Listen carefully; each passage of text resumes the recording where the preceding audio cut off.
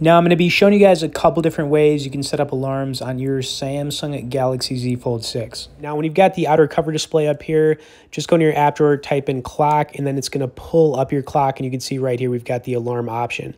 Now you just want to tap the plus icon. When you do this, it's going to create a new alarm for you.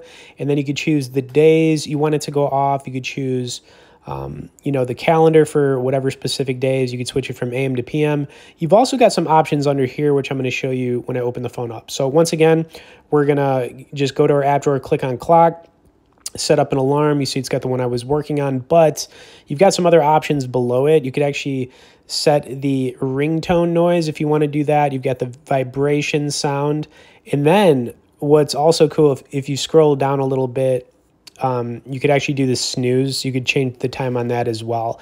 So there are a lot of different things you could do here for customizing the alarm clock on your Samsung Galaxy. Anyways, I hope you guys enjoyed this quick tip. I'd also like to point out that you can get on our Tech newsletter where we send out one email a week on only the good stuff directly below in the description. As always, thanks for watching this, guys, and we'll see y'all in the next video.